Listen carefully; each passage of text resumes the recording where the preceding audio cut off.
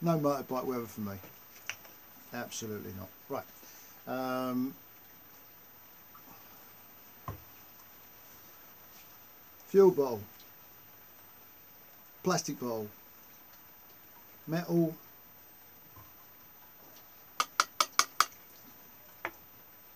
plastic. I don't think there's any um,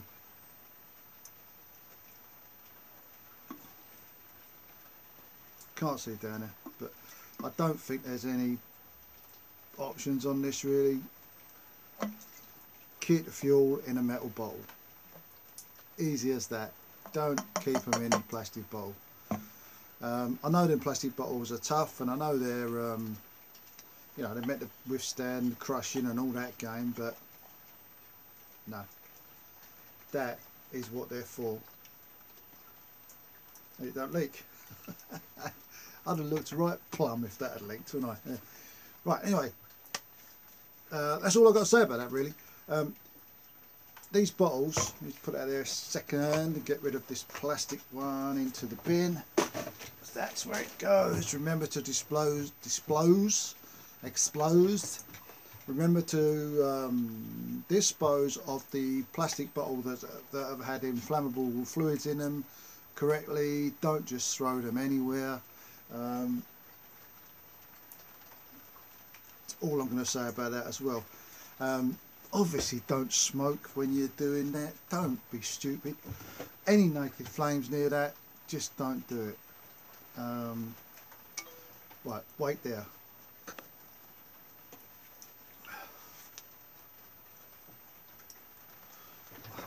So that. I gotta go and shut the door. Bloody freezing in here um, right next thing uh, we'll come to this in a minute but next thing, it's all about, um, what's today's video? Today's video really is a mashup. Um, right, leather, it's leather, I know it's leather, it's leather. Um, it's got my favourite uh, knife in there, if you have to have a favourite knife. I've not got any leather oil, I've not got anything like that, it's brand new, it's stiff as arseholes. Um, so I'm going to put a little bit of olive oil. Right, answers down below to this, but olive oil. Um, a little bit on the cloth, and then just and then just rub it into the leather. All right. Now I'm going to do this two or three times. I'm, I'm not going to do this just once and then leave it um, because you've got to let it get it all into the you know every little nook and cranny and all that. Get it, give it a good dose, a good old dose. Um, now then, like I said, answers down below or, or replies down below. Oops, throw it on the floor. Throw it on the floor. Anyway, um, yeah, answers down below, replies down below, questions down below, all them down below stuff that you do. Um, because a, a, lot of people say, well, no, don't use olive oil, don't use anything like that. Uh, must be properly linseed or vegetable or gun oil or, you know, you know the sort of thing I'm saying. Um, there's always going to be somebody that says, don't do that. Now, I don't mind that. I don't mind someone saying, don't do that. It's like leaving your bike over the winter. Don't leave it, don't leave the petrol tank half full. If you can fill it fill it right up you know right up to the top petrol tanks. That's another story. We're in the summer now. Um, right that has given it a good old dose. What I'll do is that will dry and that will sink into that leather hopefully. Make it more supple because at the minute it's, it's it's rock solid and very slippery. Ah, go on Jones right that's that um, I'm going to leave that leave that to do whatever that does. Um, but like I said, if you've got a better way of doing that, that, that doesn't mean going to buy um, going to buy special oils that cost five hundred pound a litre and all that. Sorry, sorry, sorry, sorry. Bossed you on the way back. Um, let me know. Another question for you that um, really helped me out. Really helped me. Let's just adjust this because I boinked it. I boinked you. You've been boinked by me. Um, old cameras, like the old, um, you know, the, the action cams. Um, I fitted two to the bike now. One faces forward, one faces back, and I want to do sort of a, a you know, just a little collection of little video bites and all that. But um, I've got to do the, the, the, the, speaking over. I've got to do the voiceover for it um, because I don't really want to connect a camera. Uh, sorry, I don't want to connect a microphone to the camera. I don't see the point really. Uh, the, the, camera itself picks up noise. It picks up engine noise. Um, and I kind of like where it is. It's not at the front of the bike. It's not used as like a dash cam. It's just, it's an action cam, but it faces forward uh, from the side of the bike. Um, yeah, and I love it. But I, I do love it. I do love it. I like looking at, I like looking back on it and seeing what the camera saw and all that. I mean, I just wish it'd pick up on the, the people that are on their phones in their cars. I wish it would pick up on that. Um, I might think about if there's another place I can put it where it will pick up on that because so many people are still using their phones in their cars and in the and lorries. So many lorry drivers using their phones because they just think they're too high, they can't be seen. Well, look, that's not true. Lorry drivers and car drivers, if you use your phone, and I mean phone in the hand using your phone, a la Exhibit A, I'm on the phone while I'm driving like a fucking idiot. Um, yeah, if, if you do that, you are a fucking idiot. No doubt about it. That's what this phone, this this what the video is going to be. That's the title of this video. If you use your phone while you're driving a vehicle, you're a fucking idiot um, I set a challenge for you. I set a challenge for you. Even if you're using the hands-free, uh, whatever device you've got, take a car journey of 10-15 minutes and speak to someone on the phone when you leave and speak to someone uh, say goodbye to them when you get back like take a 10-15 minute journey if you can, record the journey on your dash cam or you know action cam, whatever you like. Right, now ask yourself what road signs you saw in that journey. And if you can, try and do a journey you're not familiar with. I mean, it's easy to go. I could go to the co-op and tell you all the road signs. Um, and by the way, the co-op is that way. All right. But do that or when you've got off the phone, when you're speaking to someone, when you get off the phone, challenge yourself. Say, what road signs did I see back there? And if you want to, go back and have a look, and you'll be wrong. You'll be wrong.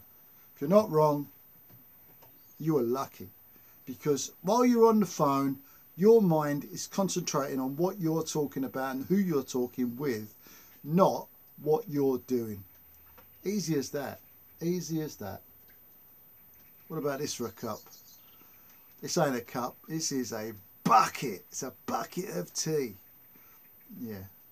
All right. I've had a whinge now. I've had a whinge for 10 minutes. So that's it. All right. Okay. Oh, I just can't get enough tea lately. Um, right. This. This. I picked this up and the uh, roller bag that goes on the top and I picked it up for 20, 20 quid off of um, I think it was Facebook Marketplace 20 quid anyway I've not got a I've not got a, a sissy bar as they say a sissy bar to connect that to. I've not got a sissy bar but what I have done underneath there are it's loaded at the minute polystyrene going everywhere. Yeah, it's loaded up with me cooking equipment at the minute but what I have done is I've put bolts through the bottom and I'm going to instead of bolting it to that rack I'm going to bolt through onto another plate and I'm going to sandwich that plate because that's got wood. I put a wood box in there. Um, so it's going to go through there and then I'm going to bolt that to that and that will sandwich that to the rack. Easy peasy. Uh, but I wouldn't mind some ideas on a quick release mechanism because once that's bolted, it's bolted. I've not got the chance to take it off if you like. I mean, I can empty it. Don't weigh that much when, when it's empty. It weighs nothing. Um, but ideas, wouldn't mind some ideas. Quick release bolt systems, where can I get them, who does them, what they called, all that game. Alright, okay. I'm spinning through this bloody video. Spinning through the video. Um,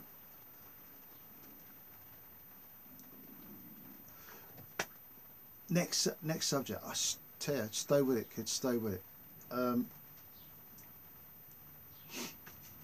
at the back, I'm gonna, I've done a little video. I've just done a little walkthrough of out the back of my shed. Now I've talked about this before.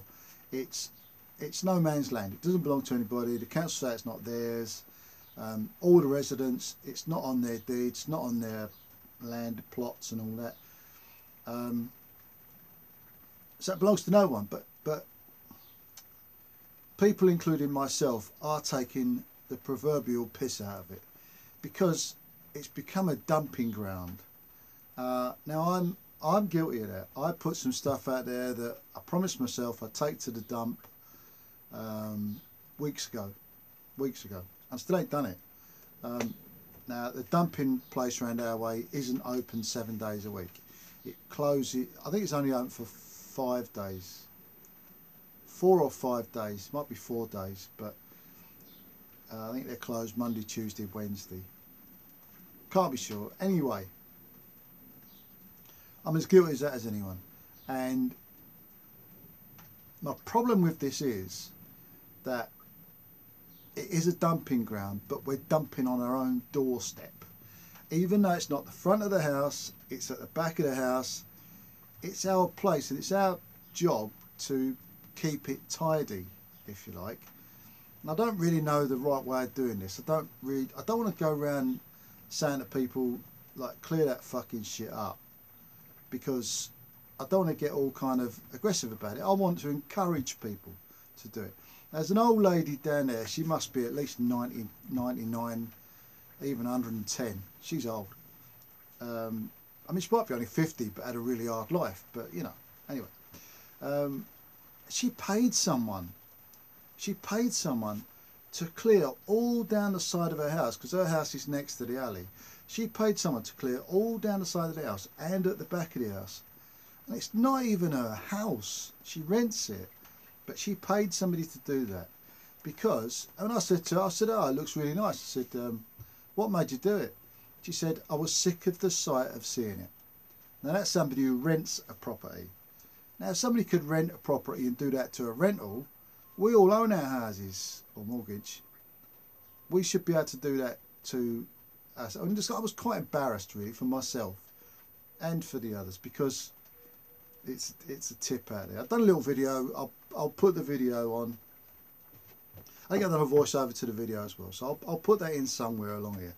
Um, but anyway, again, your your views, your thoughts, your you know whatever's. Um, I'm keeping these gloves on because it's cold in here. It's cold. I mean, for God's sake, it's, it's the what is it? The 11th. Oh, I must say happy birthday to Lizzie. Happy birthday. Um, yeah, so it, it's anyway.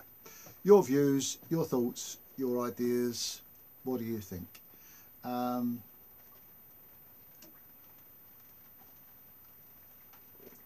right, next one. Next one. I'm going to cover a lot of subjects. I'll try and remember what subjects I've done, and I'll try and include it. Excuse me. Oh. I'll try and include it in the. Um, description, but I, I'm really racing for. I've got loads on my mind. I don't want to make it separate videos because they'll, you know, I want to get it all out in the open. I might do this as an introduction and then do separate videos on all what I've talked about again. In fact, I think I will because they're going to take up a little bit more room when we've got some more ideas and more you know, advice from you guys. Um, uh, where was I? Oh yeah. Um,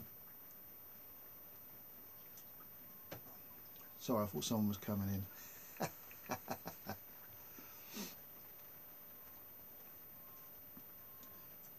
Good idea. Wife bought me this. Good idea.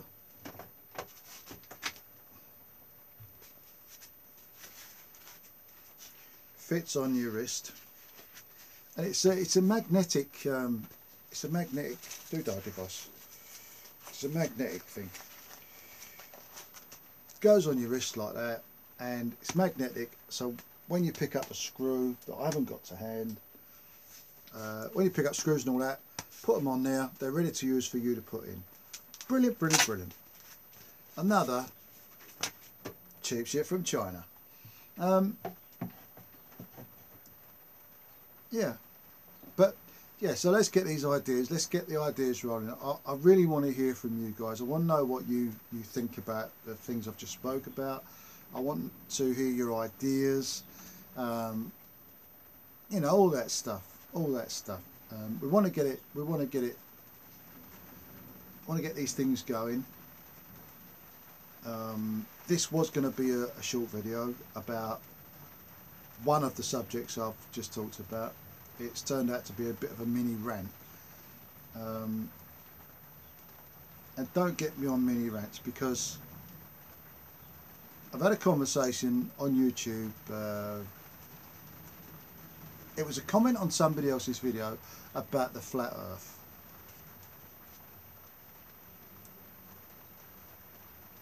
Sometimes you think, well, look, ignore it.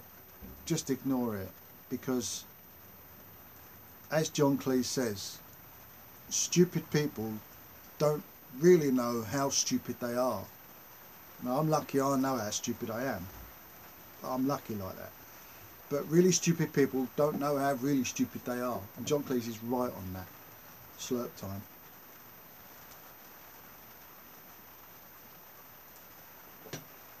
Um, what I said was, I left a comment which said something along the lines of um, that when, I said this before, when they built the big battleships in World War II, because they couldn't see what they were going to hit, they had to work it out mathematically where these ships were over the horizon. Um, they had radar, but it wasn't really that good. It wasn't, you know, it wasn't good radar. Uh, and not all ships had it, but the Bismarck, the Tirpitz, and the Yamamoto could all hit ships they couldn't see. And that was my point. They had to work that out. They had to work out how to hit a ship they couldn't see. It was all about mathematics and radar and all that game. Um, if they, if they didn't, if they could if they could have seen the ships, would have been easy. But they either had to work out how to hit these ships over the horizon, and they had to do it with maths. They they didn't have computers at the time. Um, they had to do it all in their heads, which again is remarkable because these days you just click a few buttons and boom, it's all done for you. But in them days, you didn't. You had to put a pen to paper and work it out, which is incredible. Um, and all I said was, I said, if the Earth was flat, all they'd need is a bigger binoculars because they could see what they were going to hit, but they couldn't. Now, I've had some real dumb comments um, about the Coriolis. You can't prove the Coriolis effect. What that's got to do with hitting a ship from one side to the other, I really, really don't know. Um, explain it to me. Explain it to me. Um, but yeah, really stupid comments. But in saying that, I had some really positive comments. You know, well said and well put and all that because uh, because there ain't an argument for that. That, that that's how it was. Um, one guy even said that, that a marine on a shooting range has challenged someone to prove a curve or something. But Well, he, he, he is one of the stupid people that I'm on about because at a shooting range, if you ask any sniper in any force, armed force, any sniper, he must, he has to adjust. He has to adjust for wind, height, everything to hit that. And he's got little marks in his sights um, that he adjusts his range to. You see when they're, they're doing this clicky thing on the side and the clicky thing there, that's adjusting his sight to allow for wind, height, everything. Because a bullet just doesn't go straight, it actually goes like that because of gravity. Another thing they dismiss. Anyway. Um, yeah, so that was the views on that. I had a little mini rant about him on that, but I, I don't swear to these people. All these people, they always swear at you and call your names and all that, but I don't swear. I just I just put it in English, hoping they can understand it. I, I ask them not to swear, keep it civil, uh, but it's hard for some of them. It really is.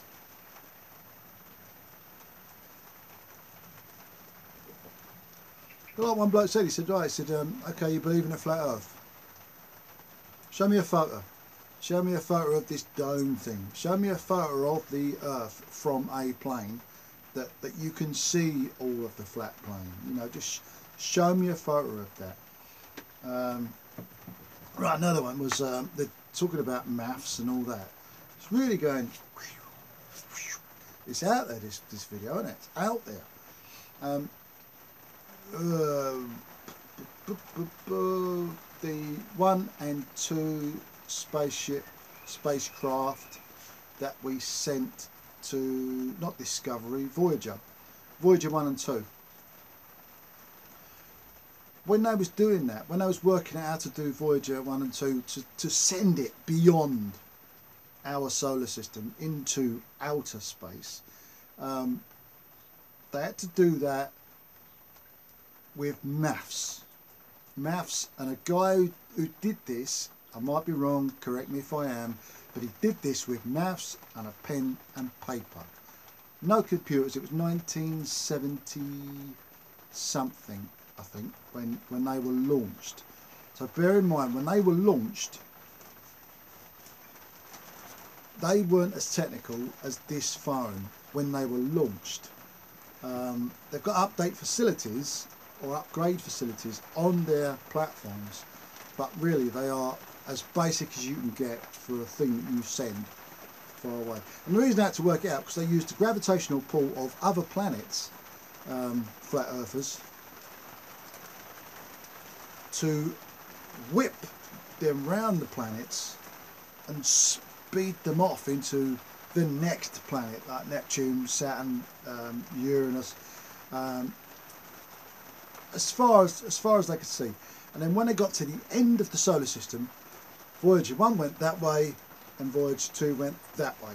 They both went their separate ways against up and down from the um, the elliptical plane that all the planets kind of sit on. Amazing, just amazing, absolute amazing, amazing stuff using maths, maths, maths. Anyway, um, I think that'll do us because I've ranted on now. I've ranted on about stuff. Don't get me on Trump. And uh, I like Trump. I like him. I do. I don't care if you don't know because they're your views. Everyone's entitled to their views.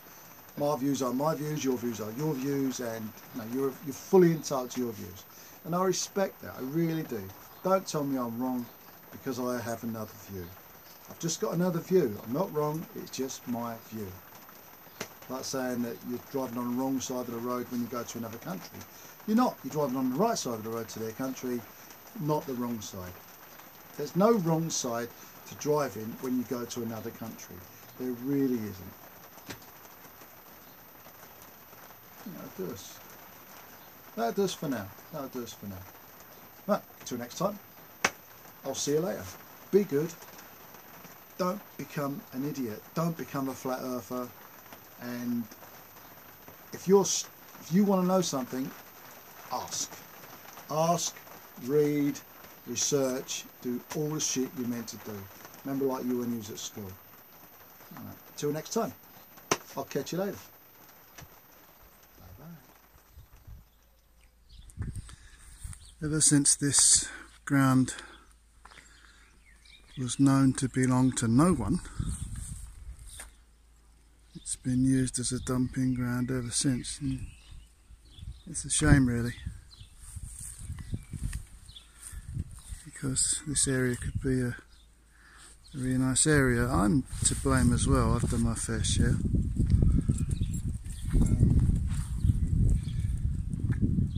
But the area really doesn't belong to anyone. So you can dump whatever you like here. Underneath that is a load more other shit. There was toilet basin and this stuff. There used to be a car over there, an old Lada. It was there for about 10 years. And it's strange, because while that was there, Nobody dumped anything. This lady here, she's cleared all this and all this to make it look respectable. What a credit to the to the neighbourhood she is. Absolutely wonderful.